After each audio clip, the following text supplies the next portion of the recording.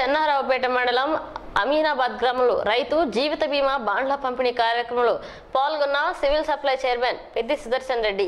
అనంతరం ప్రభుత్వ పాఠశాలలు మౌలిక వసతులు ప్రారంభోత్సవంలో పాల్గొన్నారు. ఈ కార్యక్రమంలో రైతు సమన్వయ సమితి మండల కన్వీనర్ తిరుపతి గ్రామ ప్రత్యేక అధికారి శ్రీనివాస్ ఏవో హరిప్రసాద్ ఏఈఓ రాజు రఘుపతి శ్రీనివాస్ రాజేష్ నాయకులు వెంకన్న రవి సాయిలు గ్రామ ప్రజలు పాల్గొన్నారు.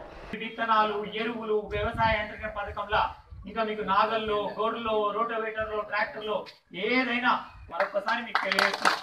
మరి వెంటనే మీటింగ్ పెట్టి నువ్వు అర్జెంటుగా మనం టెండర్ పోయి నువ్వు ఇమీడియట్ రాజు కావాలి అంటే ఏం చేయాలి?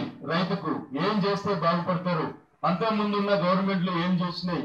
రైతులలో కనీసం కూడా వెసులుబాటు లేకుండా చేసినాయి కాబట్టి ఆయన పాపం మన కేసీఆర్ గారికి రైతుల గురించి తెలుసు కాబట్టి కష్టాలు తెలుసు కాబట్టి రైతులను ఏ విధంగానైతే రైతులను బాగు చేద్దాము అనే క్లైమ్ అవుతా ఉంటది. ఇది మంచి అవకాశము మంచి నిర్ణయము. మరి ఒకసారి గ్రామాలలో మనం నాయకులందరూ కూడా అధికారులందరూ కూడా మరి రైతులకు ప్రజలకు అవనగా అవనగా అవగాహన కల్పించవలసినటువంటి పరిస్థితి ఉంది. ఈ కార్యక్రమానికి మన అందరం కూడా మద్దతు నిలవలసింది. గతంలో కూడా ఆరు కోట్ల రూపాయలు ఆరు కోట్ల చిల్లర రూపాయలు కూడా మన మండలానికి చంద్రపేట మండలానికి కూడా ఈ రైతు బంధ పథకం ఇచ్చారు. కోటి ఎనభై లక్షల రూపాయలు ఇన్సూరెన్స్ కట్టి మనకు బాండ్లు కూడా పంపిణీ చేయడం జరిగింది. మండలంలో పంట పండించినటువంటి రైతుకు మార్కెట్కి వెళ్ళినప్పుడు మద్దతు ధర లభించకుంటే పెట్టుబడి దారు యొక్క మోసానికి గురి కాకుండా రక్షణగా నిలబడడానికి తన పంటను నిల్వ చేసుకోవడానికి ఇంట్లో గతంలో గుమ్ములు ఉండేది.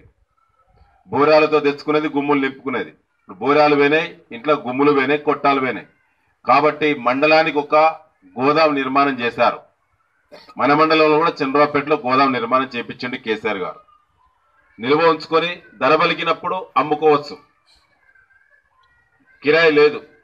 బ్యాంకుకు వెళ్తే మీకు మళ్ళీ రుణం ఇచ్చే అవకాశం ఉంది పట్ట పైన నిల్వ పైన.